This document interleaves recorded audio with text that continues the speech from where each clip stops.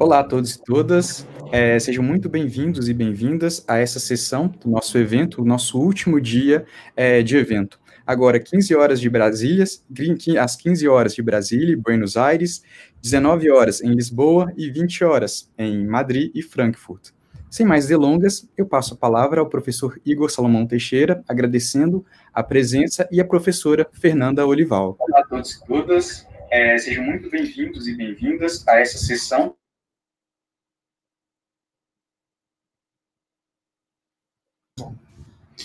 Olá a todos e todas. Professor Bruno, uh, muito obrigado pela, pelo convite. Uh, também desejo vida longa à sociedade fundada esta semana e parabenizo os colegas e as colegas uh, em nome da Associação Brasileira de Estudos Medievais.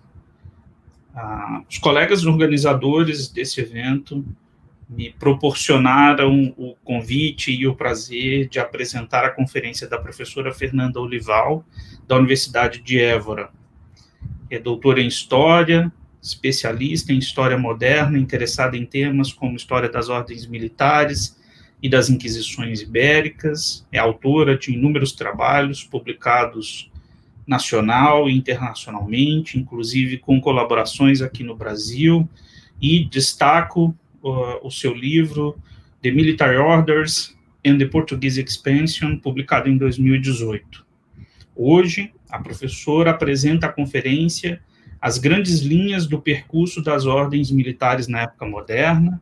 Professora Fernanda, uh, muito bem-vinda novamente a, esse, a programação do evento. A palavra está com a senhora.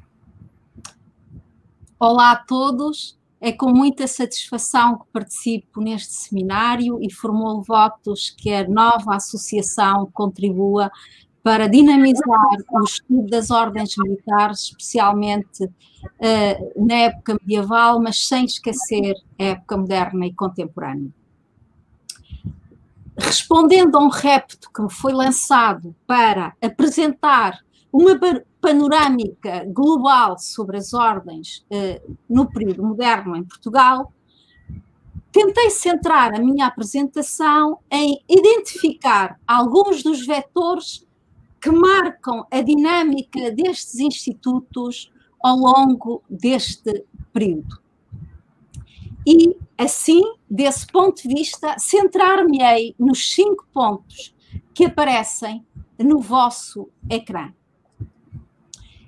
Começo por tentar desconstruir algumas das ideias feitas que marcam o estudo destas poderosas instituições, fruto da reconquista e do seu legado, que, no fundo, marcaram Portugal do século XII ao século XIX, onde estas instituições não desapareceram no final da Idade Média. Pelo contrário, elas mantêm-se até a década 30 do século XIX como ordens com o estatuto de ordens militares. No entanto, no século mais tarde são de novo recriadas como ordens de mérito e ainda hoje a Ordem de Cristo, a Vis e Santiago.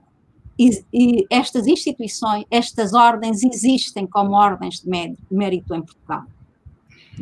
Assim, é uma ideia que há que esquecer, é a ideia do desaparecimento destas instituições no período moderno, seja em Portugal, seja no resto da península, como de resto o professor Francisco Fernandes Esquerdo já referiu.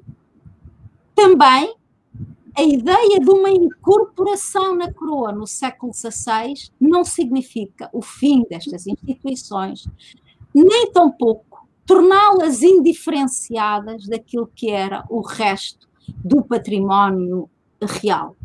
Eu pus, entre, coloquei entre parênteses incorporação, porque na realidade elas não são propriamente incorporadas na coroa, ficam agregadas à coroa de Portugal, o que é um pouco diferente. Outra ideia importante é também a ideia de que estas instituições no período moderno se laicizam.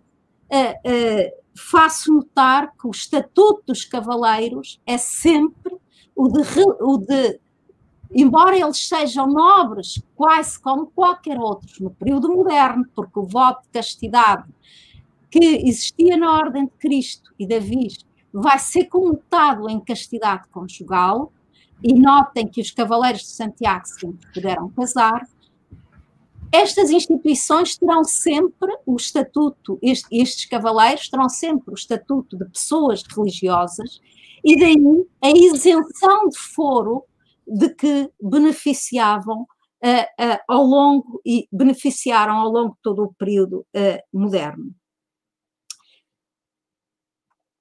Ora, importa salientar que aquilo estas instituições sofreram grandes alterações ao longo da sua história e para entender o período moderno é fulcral considerar o período que vai de meados do século XV a sensivelmente à década de 70 do século XVI e mais em concreto a chegada de Dom Manuel ao poder na qualidade de mestre da ordem de Cristo.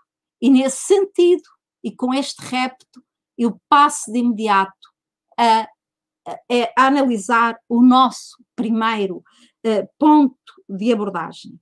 Faço notar que Dom Manuel não era filho de rei e uh, uh, era apenas primo e cunhado de Dom João II que, tendo apenas um filho bastardo, o nomeou em testamento como nomeou rei de Portugal.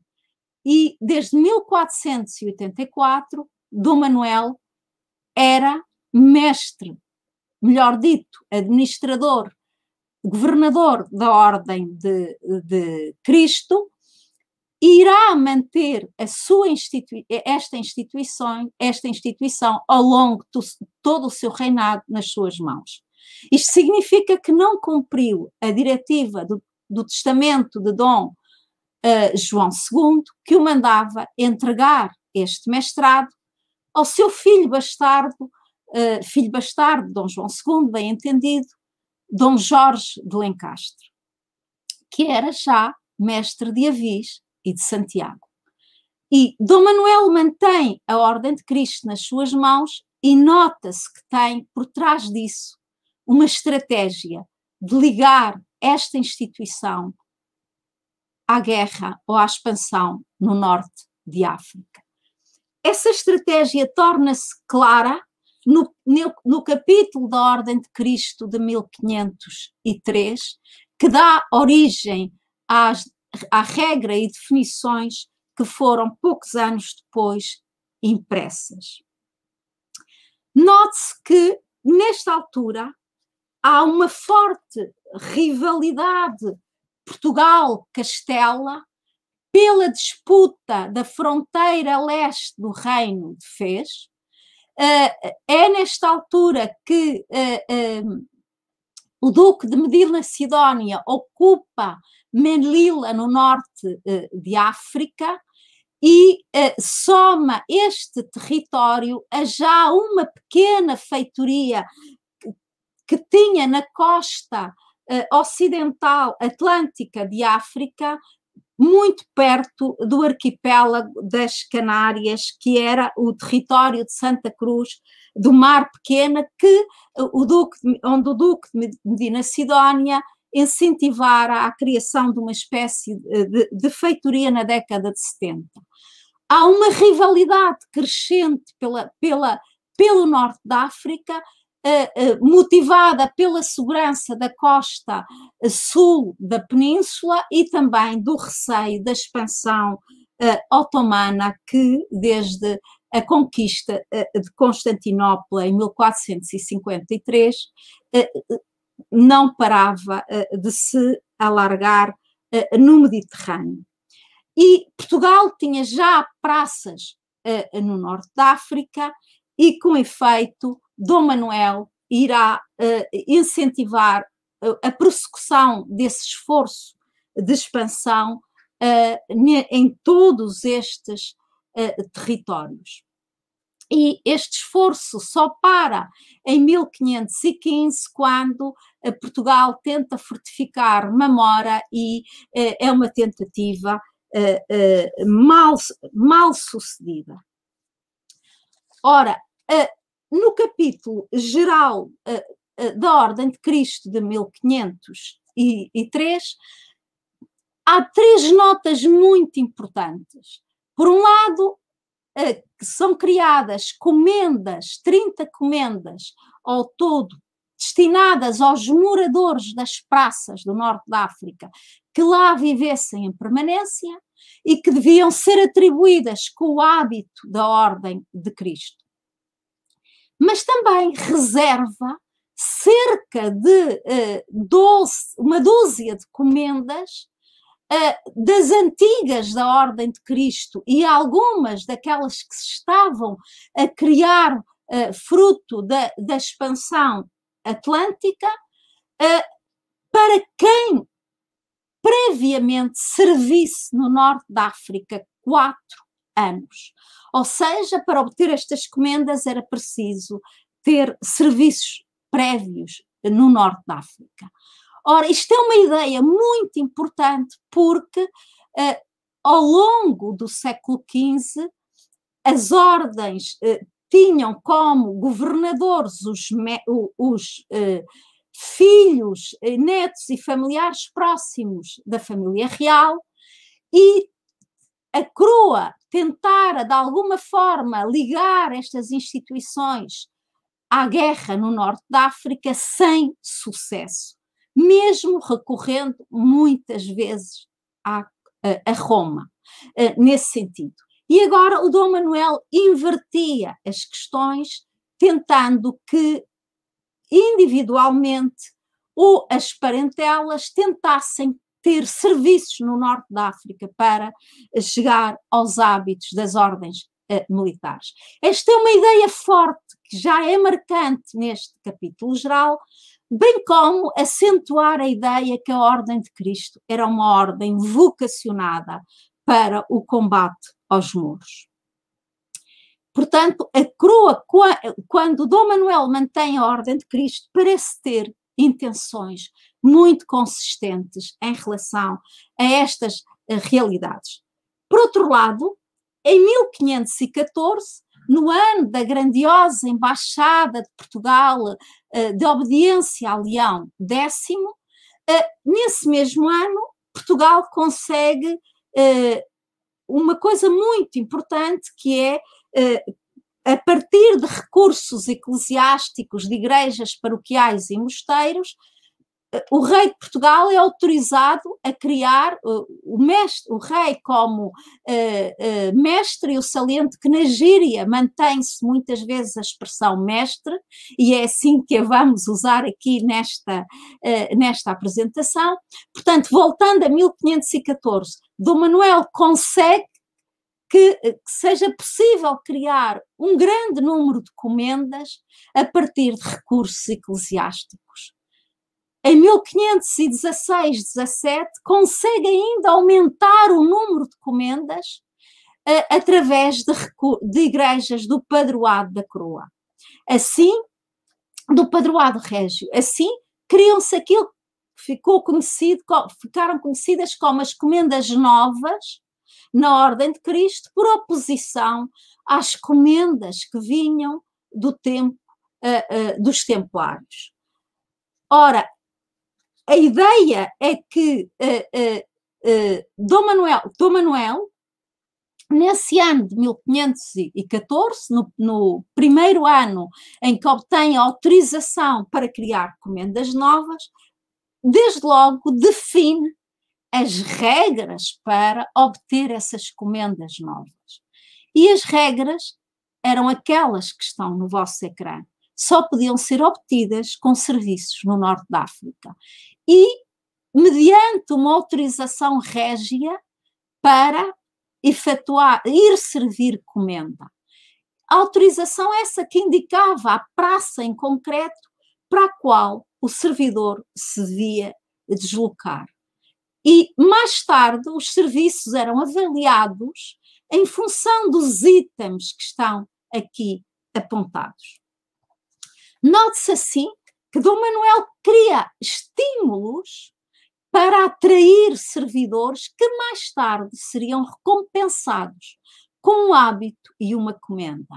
Ou seja, tenta enraizar a ideia que para obter, para chegar ao hábito, para chegar à comenda, é preciso ter serviços prévios eh, no norte da África.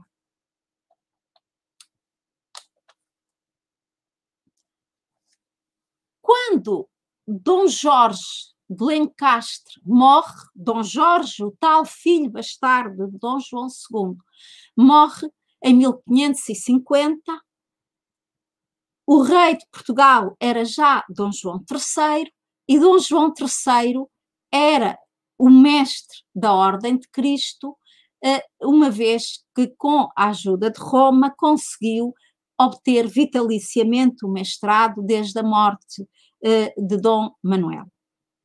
E aproveita a ocasião e imitando aquilo que acontecera em Castela, que desde 1523 as ordens de Calatrava, Santiago e Alcântara estavam sob a tutela da coroa, uh, pede ao Papa, alegando o esforço da expansão da fé nos, nos, três continentes, uh, Europa, desculpem, África, Ásia e América, o, também o, o esforço de defesa eh, depois dos grandes cercos de Dio na Índia, pede com tudo isto a posse vitalícia e depois a posse perpétua destas uh, instituições, destas três instituições.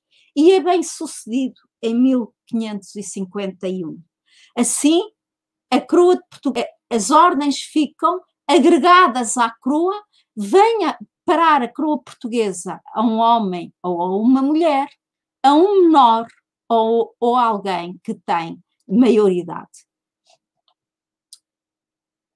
Notem depois da agregação dos mestrados à coroa, a administração dos mesmos, tal como em Castela, ficam sob a tutela de uma instituição, que no caso português é a Mesa da Consciência, que já existia desde 1532 e que eh, era a instituição que tratava dos encargos pios da coroa, eh, considerando genericamente eh, a, a, instituição que tem sido estudada nos seus, nos seus primeiros anos por Giuseppe Marcocci.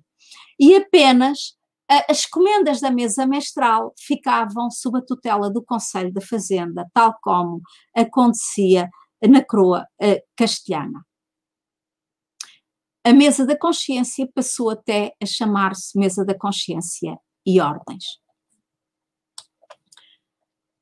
Ora, para além da mesa da consciência, a hierarquia de assuntos passava um pouco por ser esta a hora de decidir as matérias usuais das ordens militares. Mesa da consciência, rei e papa. Notem que o papa não perde a tutela sobre estas instituições. Saliento, todavia, a importância das ordens para, uh, para, os, para os monarcas portugueses. Irão usar a Ordem de Cristo ao peito exclusivamente. Uh, e, e, será assim até o reinado da Dona Maria, da Dona Maria I. Estas instituições, mas vai haver todo um discurso uh, muito uh, acicatado pela própria mesa da consciência, que era um tribunal muito dominado por clérigos e não necessariamente por cavaleiros das ordens, como acontecia com o Conselho de Ordens castelhanos, todo um discurso enfatizando que o rei tinha duas figuras: a figura de rei enquanto monarca e a figura de rei enquanto governador e perpétuo administrador das ordens militares. E só nesta segunda qualidade podia subscrever diplomas ordenando fosse o que fosse relativamente às ordens militares. Saliento a, a importância que vai ter estes novos recursos num tempo em que a coroa de Portugal enfrenta as primeiras, eh, as, as primeiras dificuldades, as primeiras grandes crises financeiras e não só. É uma vastidão de recursos dos, uh, muito diversificados, sendo que o mais importante deles eram as comendas, digamos, o mais apetecido.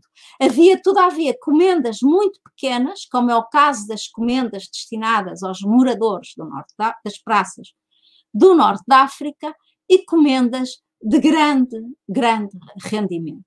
Era assim muito variável, mas tudo isto ajuda a consolidar o poder da coroa portuguesa eh, e o seu poder sobre as classificações sociais, um assunto que nós vamos desenvolver ao longo desta apresentação. Notem assim que chegar ao hábito passa por muito por serviços no período moderno, especialmente a partir de 1504 uh, eh, em diante. Esta ideia de ir servir comenda é, é eh, eh, uma ideia muito importante na sociedade nobiliárquica do, do século XVI, mas não só. Ser, servir comenda é um meio para chegar a estas uh, distinções. Faço notar que esta ideia de introduzir os serviços feitos, feitos pelo indivíduo, por um indivíduo em concreto, é uma ideia que vai ser desenvolvida ao longo do século XVI, sem, nem sempre com grande êxito. E será uma bula pedida por Dom Sebastião ao Papa em 1570 a, a, o grande diploma a generalizar esta ideia de para chegar a um hábito há que ter serviços prévios, serviços prévios no norte da África, será esta bula a consagrá-lo, não apenas para a Ordem de Cristo, mas também para as restantes. Notem que para chegar a uma comenda era preciso um número muito significativo de anos, além de licença régia, ou mais anos de serviço se a pessoa não obtivesse essa prévia licença. Esta bula é, assim, muitíssimo importante. Notem que eh, eh, em 1572 este eh, regimento e estatutos que foi impresso e elaborado por iniciativa da Croa reforçava a, a ideia dos serviços prévios para chegar a uma distinção das ordens, mas alargava, já não era só o norte da África o palco para os serviços, introduzia também as galés da costa algarvia, frequentemente assediada, assediada por uh, ataques de, de moros e corsários, e a Índia, o que era uma grande novidade. No entanto, os serviços da Índia só serviam para receber o hábito e não a comenda.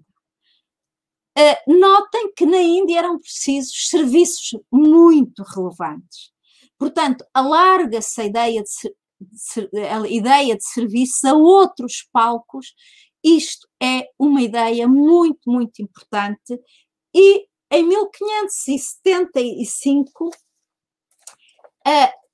reduzir-se-á o tempo de serviço para obter uh, o hábito a menos tempo, a apenas dois anos. E em 1577 ainda se alarga o palco de serviços às armadas do Atlântico, pois à medida que a política de mar fechado portuguesa era cada vez mais uh, uh, posta em causa por outros europeus que se aventuravam pelo Atlântico, os ataques de corsários e de piratas exigiam cada vez mais defesa. E assim as armadas do Atlântico tornam-se outro, outro espaço para, uh, uh, para obter distinções. É de salientar que mais tarde, quer os serviços feitos em Angola, quer os próprios serviços feitos no Brasil, não tinham este uh, estatuto. E muitas vezes quem lá servia reivindicava que tivessem esse mesmo estatuto. Assim, na década de 70, consagra-se uma ideia que é quem quer chegar a um hábito tem forçosamente que ter serviços para obter recompensas. E chegar a um hábito não é só uma questão de natureza de fé religiosa, é também uma questão de serviços à coroa. Coroa é essa que vai querer recompensar, seja com hábitos, seja com outras distinções, pois se não recompensa, se não paga bem os seus servidores, há menos gente a querer e servi-la. Para pontos nem sempre convidativos fora de Portugal e em Portugal. Assim, esta ideia de uma economia da mercê, de uma economia da, da recompensa, é essencial para perceber a relação política entre vassalos e coroa uh, em Portugal e não só, em toda a Península Ibérica, no período moderno. Quando Filipe II, em 1580-81, se torna rei de Portugal, quando chega, esquece por completo a ideia de serviços no norte da África para obter um hábito e vai recompensar com hábitos e com comendas serviços de diferente natureza, nomeadamente serviços políticos, quem esteve do seu lado nas alterações do reino. E, na realidade, esta ideia vai perdurar o hábito consegue-se por diferentes, tipo, diferentes tipos de serviços. Uh, sejam serviços militares, sejam uh, serviços uh, no passo, seja serviços como desembargador ou outros em diferentes pontos de Portugal e, e do Império colonial. Notem que até 1706 não há limite para o tipo de serviços uh, que se fazem. Uh, quaisquer serviços são remuneráveis. Não quer dizer que a coroa não pudesse pagar, gracio, não pudesse dar graciosamente um hábito ou outra distinção a alguém. Podia fazê-lo. Mas o mais usual era recompensar serviços com distinções, entre elas os hábitos e as comendas. A ideia de serviço em Portugal, os serviços à coroa, eram bens como quaisquer outros, eram bens patrimoniais. Se, se lerem testamentos do século XVII e XVIII, é frequente alguém que serviu à a coroa e não chegou, não teve tempo de pedir recompensas pelos seus anos de serviço, a deixar os serviços aos seus filhos e, e, até às suas filhas para pedirem recompensas à coroa. O número de anos de serviços podiam até ser divididos pelos vários uh, filhos. E notem que os serviços que a coroa recompensava não eram só os serviços individuais. Recompensava os serviços de toda a parentela, se fosse uh, necessário. No século XVIII, chegam até a vender-se uh, serviços feitos à coroa, porque eles têm um estatuto muito, muito importante. E saliento que as ordens são fundamentais na afirmação desta ideologia eh, do, do serviço. Ora, se qualquer pessoa podia servir a coroa, então qualquer pessoa podia chegar a um hábito. Não, é, não será exatamente assim, porque pela bula que há pouco analisamos brevemente, também foram introduzidos outros requisitos. Para obter recompensas, não bastava ir servir no norte de África. Era preciso ter limpeza de sangue e limpeza de ofícios. Ou seja, o que é que significava limpeza de sangue? O próprio o candidato, o, o pai, os seus pais e os seus quatro avós uh, tinham que ter uma série de, de requisitos que estão aqui elencados.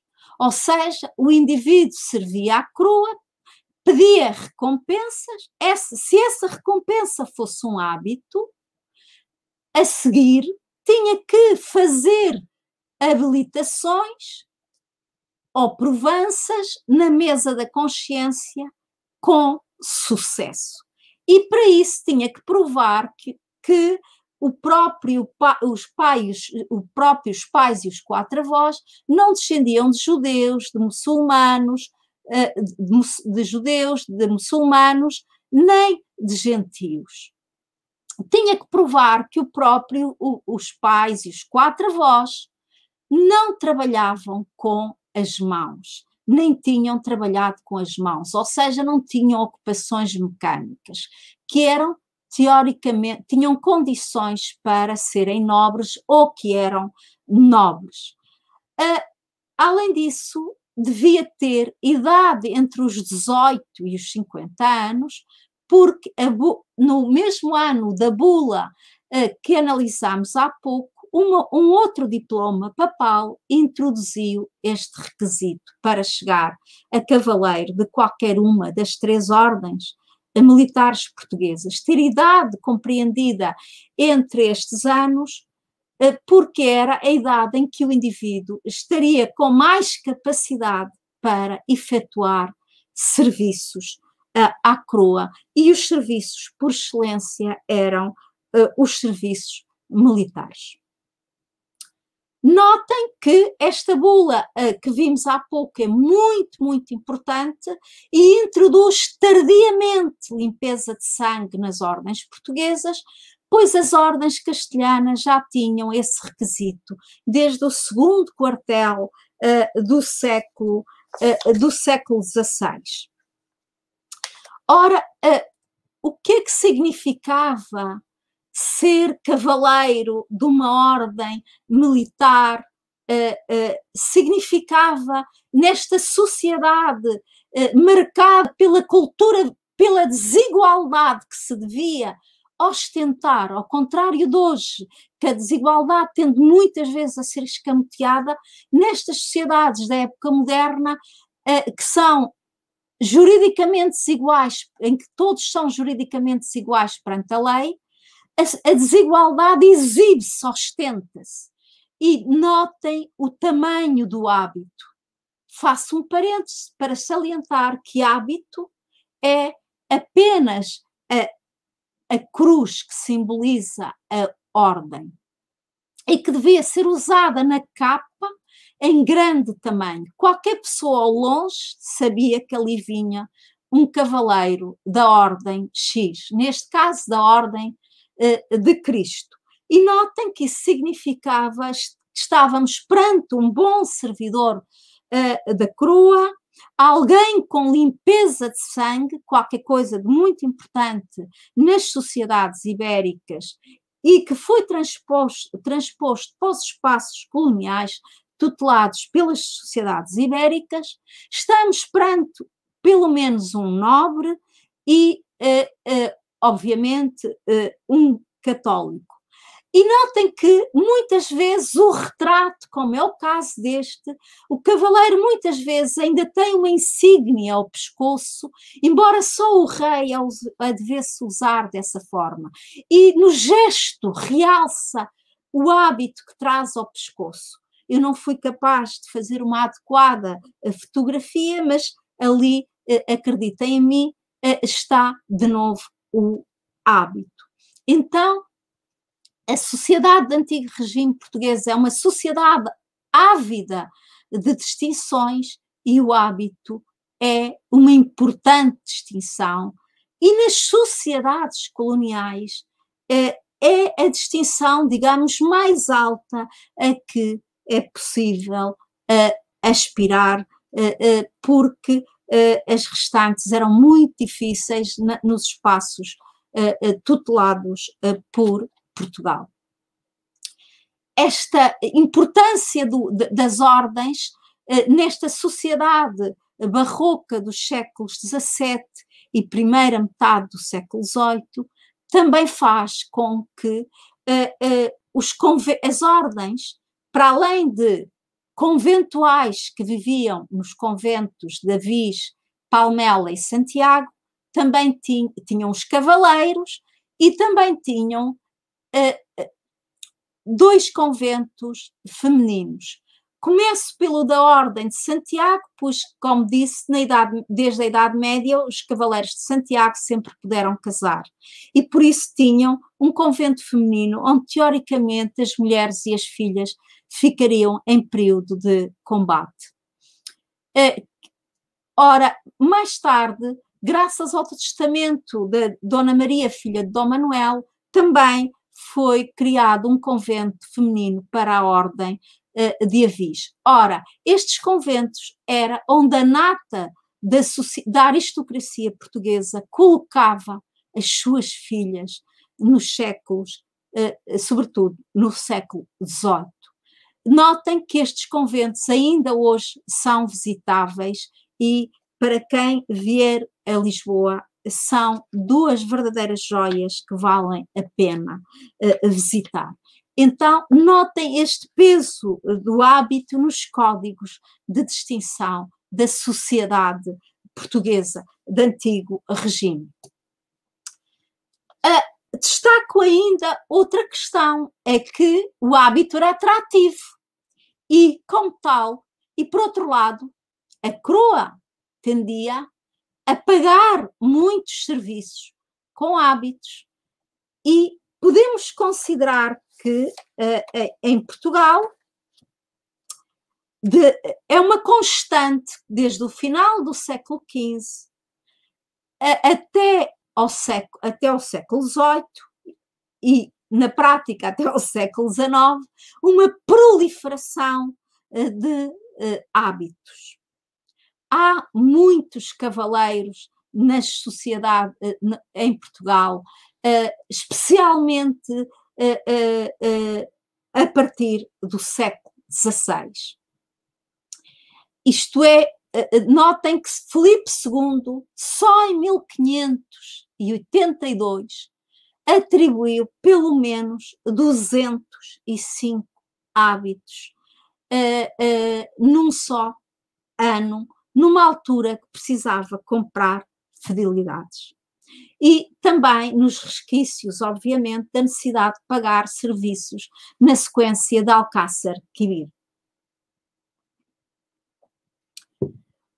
Ou seja, Portugal conta com uma inflação de hábitos e isso seria notório, especialmente em Lisboa, como as passagens atrás uh, referidas que tinham no vosso ecrã podem ler.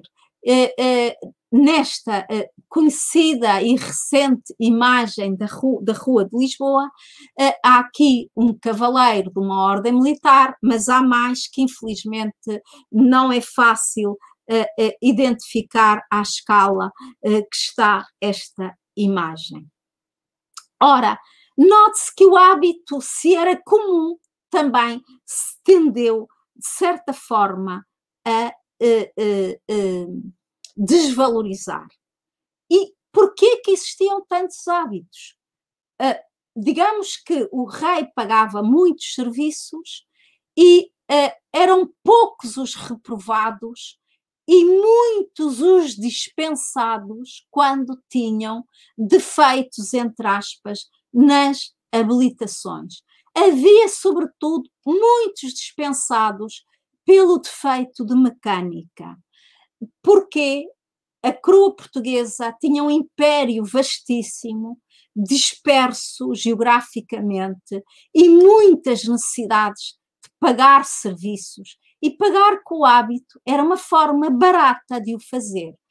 E por isso mesmo, a tendência é para a, a mesa da consciência reprovar as habilitações num primeiro momento, mas tem que dar contas ao rei. E o rei dispensar esse defeito, muitas vezes exigindo mais serviços no local X em concreto, ou exigindo até a entrega de cavalos, por exemplo, durante a guerra de sucessão de Espanha, que havia falta de, de cavalos, e entregando muitas vezes quantitativos em dinheiro, ou então caçando serviços futuros daquele indivíduo, porque a economia da mercê era um dado muito uh, uh, integrante e, e muito integrado na cultura política e na praxis política deste período. Reparem que a partir de 1680 as dispensas estão no patamar dos 40%, da década de 1680, a partir daí, as dispensas estão no patamar dos 40% e sobem ao patamar dos 50% a partir da década de 1740, 1750. Houve, inclusive, venalidade da mercê do hábito, não do hábito, mas da mercê que o rei dá. Notem que muitas vezes a coroa pagava uh, serviços com um segundo hábito e essa pessoa tendia a solicitar à coroa a possibilidade de poder alienar, renunciar essa segunda dispensa. E nem sempre o fazia sem ser a troco de algum dinheiro. Tudo isto contribuiu para um grande a existência um número eh, considerado em termos europeus alto de hábitos em eh, Portugal. E, esse, e os cavaleiros não constituíam de modo algum uma elite. No entanto, todas as elites sociais acabavam por estar eh, presentes eh, nas ordens militares, mas cava-se cada vez mais ao longo do, do, antigo regime, muito notório no século XVIII e, e, e no começo do século XIX, o fosso entre, entre eh, cavaleiros e comendadores. Notem que eh, eh, no final do antigo regime, praticamente só o topo da nobreza, a aristocracia portuguesa, a nobreza titular, é que conseguia chegar às comendas, que eram essenciais no património da nobreza titular portuguesa.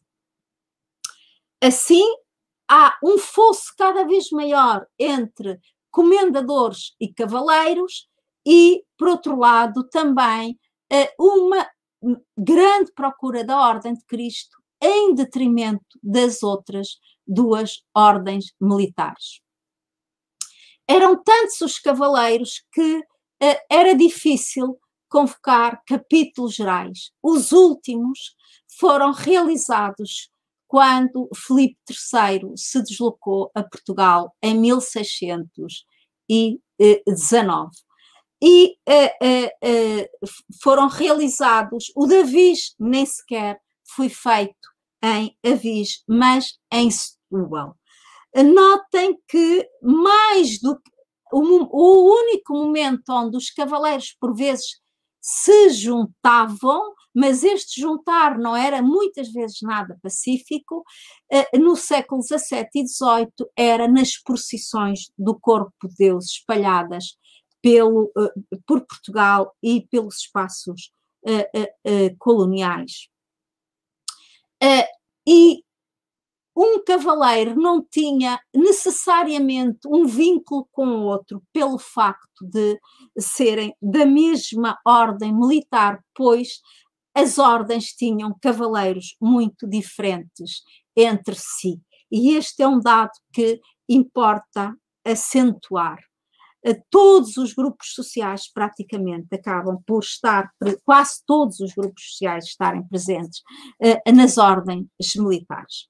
O tempo avança e queria só salientar que uh, uh, a importância do padroado das ordens, do padroado das ordens militares e que anotou o que além de cavaleiros, de conventuais, de comendadeiras de santos e da encarnação, as ordens tinham os freires clérigos que ocupavam os vários postos em diversas igrejas destas eh, instituições e que ainda hoje muitas vezes identificamos pela presença da insígnia uh, na, uh, uh, nas igrejas, quer, na, quer seja na fachada, quer seja muitas vezes noutros pontos.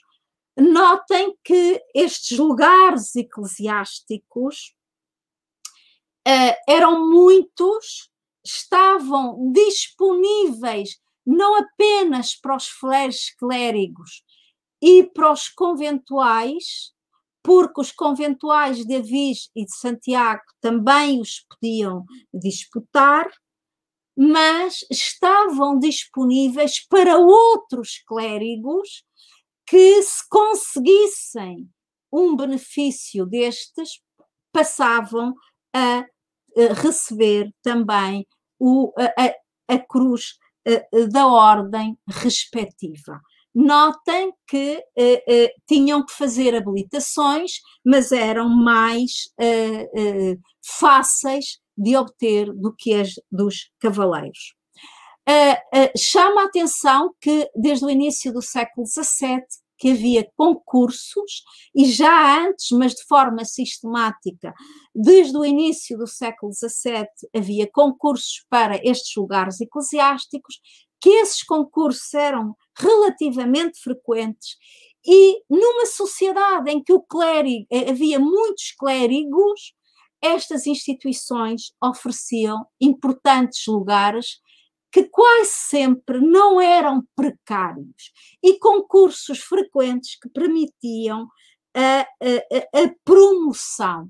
Notem, contudo, que estes lugares nem sempre eram de grande rendimento. Uns sim, outros não, eram muitíssimo variáveis. Este, relativamente à colocação dos clérigos nos espaços fora de Portugal, a situação era um pouco diferente, porque a partir da criação do Bispado do Funchal, em 1514, passa a ser os, passam a ser os bispos, quando residentes, a poder nomear os clérigos uh, uh, dessas uh, igrejas. Notem que o padroado deixou muitas marcas, não só materiais, mas também quase nas festas e no património simbólico que ainda hoje é possível observar em algumas regiões. Estamos, assim, perante instituições que ofereceram muitas oportunidades de distinção uh, no espaço da sociedade portuguesa uh, de antigo regime, que reforçaram, uh, tiveram grande impacto nesta, nestas sociedades, reforçaram muito, foram um instrumento de mobilidade social ascendente, quer para clérigos, quer uh, para uh, não clérigos e que no final do antigo regime já distinguem, distinguem pouco, mas foram essenciais na construção do poder da coroa e no seu poder para disciplinar, inclusive, a aristocracia. No século XVIII, estas instituições distinguiam pouco, sobretudo quando em 1773 se extingue a limpeza de sangue, mas uh, há um dilema no século XVIII entre criar uma ordem de cavalaria como fizera, por exemplo, Carlos III de Espanha, ou eventualmente reformar estas instituições para as tornar mais distintivas. E é essa a, opção de Dona Maria em 1789, eh, tenta reformar para eh, tentar torná-las mais distintivas, mais hierárquicas, eh, mais, eh, eh, eh, mais atrativas e a permitir a promoção social, mas isso é uma história que, por agora, uh, fique disponível para as vossas questões e que não posso desenvolver já. Muito obrigada uh, a todos. Muito obrigado, professora Fernanda. Ah, nós temos aqui uma intensa participação de colegas pelo chat parabenizando a professora pela conferência, ah, e temos também algumas perguntas que passo à leitura. Ah, a primeira delas é do professor Fabiano Fernandes, pergunta, dentro da lógica administrativa da ordem, quais as transformações do papel do convento no cotidiano da ordem no século XVI? Uh, eu creio que há um, um dado muito interessante, que, e, e, isto digo interessante porque uh, permite trabalhos futuros.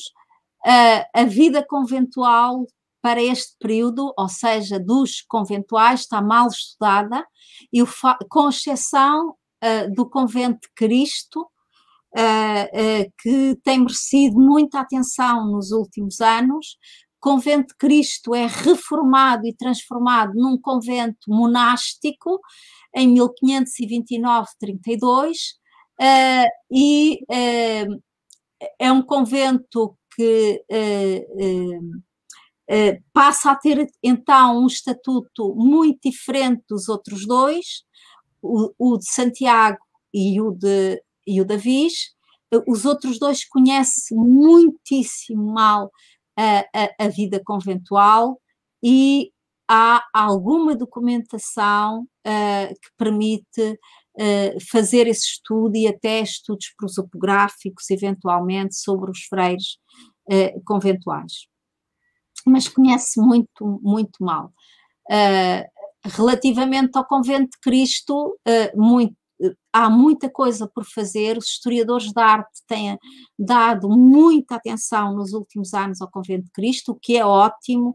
Há, inclusive, arquitetos que têm feito uh, reproduções fantásticas das várias, dos vários claustros e da sua progressão, da sua construção ao longo do tempo, que é uh, precioso, porque estes conventos são muitas vezes um verdadeiro palimpsesto, onde várias camadas e várias, vários claustros foram acumulando, sobretudo no caso da Ordem de Cristo, uh, mas é uma área a, a, que os modernistas, e não só, deviam dar mais atenção uh, no futuro.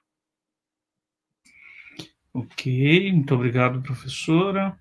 O João Dias diz: Tenho duas perguntas. Por que os monarcas ibéricos consideraram necessário se apropriar das ordens militares? Segunda pergunta: Trata-se de, de, se apropriar do prestígio das ordens e redirecioná-lo aos objetivos da coroa? Ora, uh, uh, as coroas conseguem usar estas instituições para pagar serviços. E quando digo usar, na prática é uh, uh, o que é que o rei dá quando dá um hábito? Dá apenas a mercê do hábito. E uh, essa pessoa depois tem que fazer as habilitações e, além disso, tem que fazer as cerimónias de entrada na ordem. E só depois é que passa a intitular-se cavaleiro e ostentar na lapela a sua insígnia. Notem que o rei não dá sequer a insígnia, portanto, mas em geral dá pelo menos uma tensa quando atribui o hábito. há casos que não dá uma tensa, mas uh, uh, quando dá, essas tensas são mais pequenas do que quando paga o mesmo padrão de serviços a uma pessoa do mesmo estatuto social uh, e não paga com hábitos. Ou seja, pagar com hábito é, um, digamos, entre aspas, barato, uh, remunerar de forma barata os serviços. Interessa à, CROA controlar uh, estas instituições e, obviamente, poder ajeitá-las aos seus interesses. Reparem que se uma pessoa servisse no norte da África, ao longo do século XVII e XVIII, o número de, de anos para obter recompensas era menor, porquê? Porque a coroa precisava de atrair servidores para o norte da África do que se servisse no Brasil, por exemplo. porque podia hierarquizar a forma de pagar os serviços feitos em diferentes locais. Interessa à coroa muitíssimo controlar estas instituições e que não estejam na mão de mestres, como uh, no princípio, uh, até, como até 1418, uh, eh, que é o primeiro, é a Ordem de Santiago, a primeira a ficar sobre as mãos do infante, de um infante da coroa, interessa poder ajeitá-las aos seus interesses e não uh, uh, tê-las autónomas, uma vez que dispunham de vastos recursos. Embora, a meu ver, fim da Reconquista, uh, estas instituições tinham fraca vida conventual já no século XV. E, e, e, os cavaleiros, há cavaleiros que nunca foram ao convento na vida, e outros iam receber o hábito e nunca mais voltavam. Uh, portanto, uh, uh, para reforçar a questão de há pouco, a vida conventual dos cavaleiros em si era diminuta e escassa. Sobretudo, pedia-se dispensa de ir à avis, por exemplo, ou a tomar, porque não ficavam. os conventos tornam-se periféricos no período moderno é preciso ver que a sua localização dependeu eh, de estratégias da reconquista e não só, porque mudaram ao longo do tempo. Peço desculpa porque alonguei-me. Uh, o professor Bruno Feitler faz uma pergunta. Ah. Pode falar. Pode falar um pouco mais sobre a questão da influência da composição da mesa da consciência e ordens nos negócios das ordens militares em comparação com o que acontecia em Castela? é, é uma questão interessante eh, e, e faço notar que a mesa da consciência é, é, merece mais atenção do que tem tido.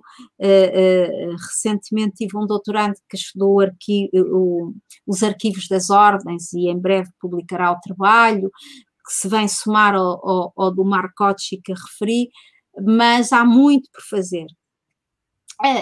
em Castela, o, a mesa da consciência, o Conselho de Ordens era essencialmente composto por uh, indivíduos ligados às ordens. Em Portugal, na tradição daquilo que era a mesa da consciência Tucur, a, a, composição uh, não é só de indivíduos de capa e espada, é também de clérigos, e as ordens não se sentirão nunca uh, muito bem representadas por esta instituição. Quando eu digo as ordens, digo os cavaleiros. Por que é que é possível dizer isto?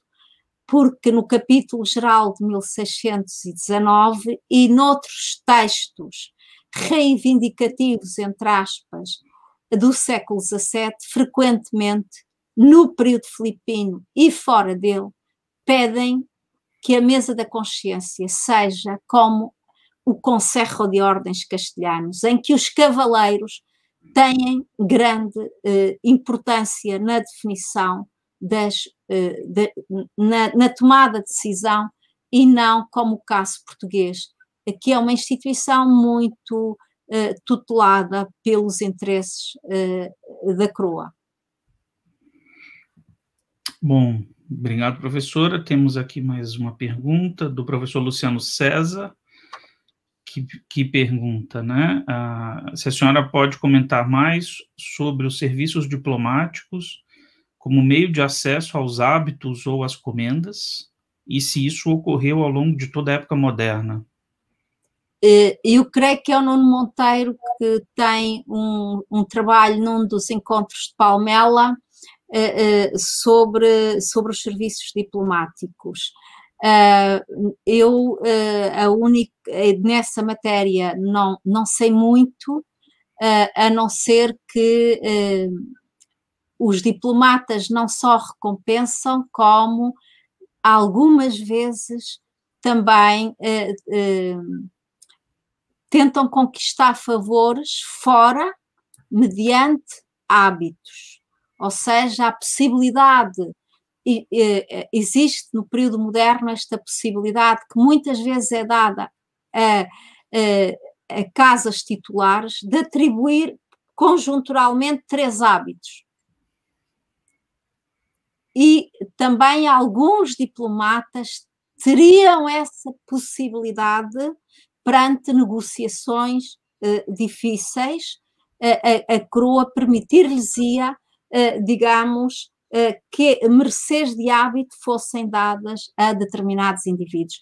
Notem que a, a obrigação de serviços do Norte da África para o simples hábito cai, mantém-se para as comendas até ao século XIX, quando Portugal já não tem nenhuma praça no norte da África, mas normalmente esses serviços nem sempre eram feitos, raramente eram feitos, muitas vezes no século XVIII, e com bula de Roma era possível dispensar os serviços no Norte da África. Obrigado. A Cristiane Souza pergunta: quando a professora refere-se à limpeza de sangue, diz da proibição do recrutamento de judeus ou, cristão no, ou cristão no, cristãos novos nas ordens militares? Desde 1497 que eh, não há eh, judeus em Portugal, exceto aqueles por pontualmente passassem por Portugal eh, por algum motivo muito particular e em circunstâncias estritas. Ou seja, Dom Manuel, em 1496, expulsa judeus e, e, e, e, moros de Portugal e muçulmanos de Portugal, 1496, 7, porque dá 10 meses para a saída, portanto, a partir eh, de, 1497, eh, o que há os, são aqueles que se converteram e, portanto, há cristãos novos. E a limpeza de sangue exclui os descendentes e aqueles que tinham, nem que fosse um oitavo de cristão novo. Como sabem, eh, em Portugal, eh, muitas vezes sabia-se ainda no século XVIII quem é que tinha um oitavo de sangue cristão novo ou quem era meio cristão novo. Isto significava eh, que tinha só uma parte da sua parentela com esta origem.